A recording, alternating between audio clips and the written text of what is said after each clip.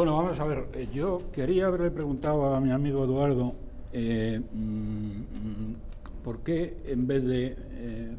me parece valiosísimo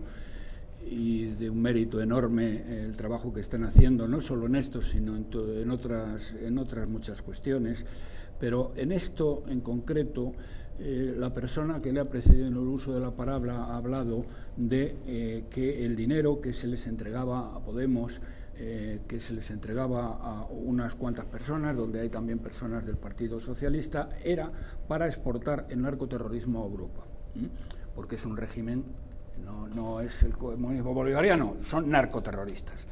Bien, entonces lo que yo le quería preguntar a Eduardo,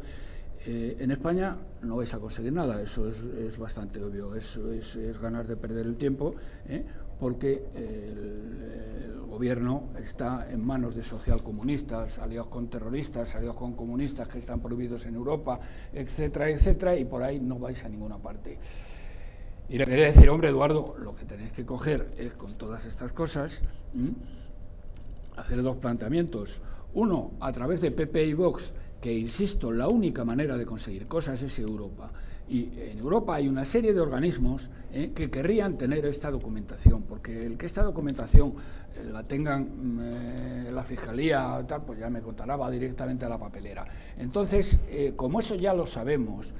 como vosotros sí que, Eduardo, tenéis documentación y tenéis, tenéis muy buenos datos y vais a seguirlos teniendo, abrir una línea de comunicación directa con una serie de,